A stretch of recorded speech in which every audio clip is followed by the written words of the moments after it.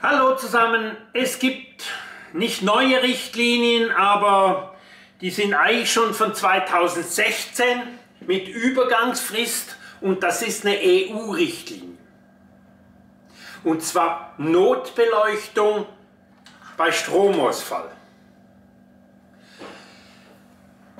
Früher war das so, bei Räumen, die über 20 Quadratmeter hatten, brauchte es schon eine Notbeleuchtung.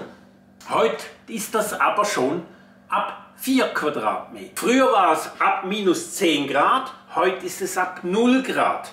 Und sogar Räume, die bis 0 Grad funktionieren könnten. Also schon Kühlräume beim Metzger ist schon mal grenzwertig. Das beruht sich alles auf der europäischen Norm 378 oder 378 minus 1 von 2016. Diese Normen könnt ihr aber nicht frei bei Eurolex oder so runterladen, die müsst ihr erwerben. Also die sind nicht frei zugänglich. Ich habe hier einen Auszug von der SUVA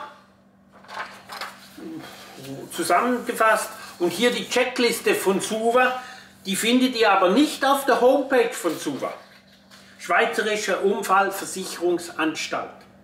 Das gilt aber auch für Deutschland, Österreich und der Rest der EU.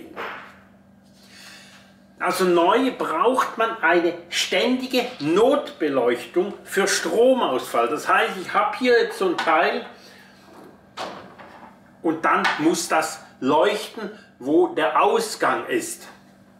Man sieht es relativ schlecht, aber das ist ja nicht definiert. Definiert ist nur die Stärke von 3 Lux.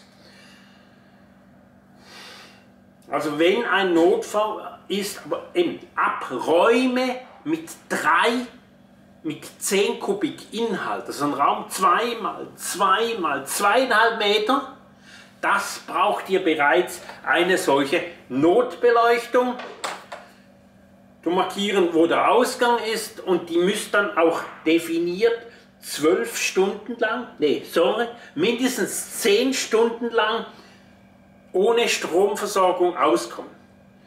Ich hoffe nicht, dass einer zehn Stunden lang im Tiefkühlraum drin ist, weil bei dementsprechender Kleidung, da gehe ich ja fast mit dem Turnschuhen rein, so ein kleiner Raum, wenn er da nicht rauskommt, hält auch 10 Stunden nicht mehr. Warum mache ich jetzt das Video? Wir haben einen Kunden, kennt ihr vielleicht McDonald's, einen Kühlcontainer geliefert. Beim Kühlcontainer ist es aber ein mobiles Kühleinrichtung. Da gelten wieder andere Normen. Nur das Arbeitsinspektorat hat gesagt, ja, der steht mehr als zwei Wochen. Dann ist es bereits ein festes Teil und so müssten wir jetzt diesen Notbeleuchtung nachrüsten.